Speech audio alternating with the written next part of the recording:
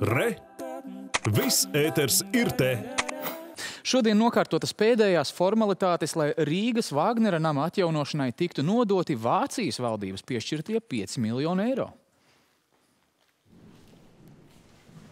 Vācijas valdības piešķirto līdzfinansējumu izmantos nākamo četru gadu laikā.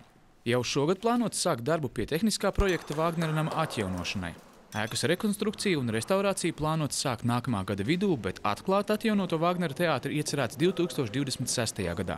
Līdz tam plānots atjaunot unikālo 5000 km2 ēku ansambli Vecrīgā un piepildīt to ar jaunu dzīvi.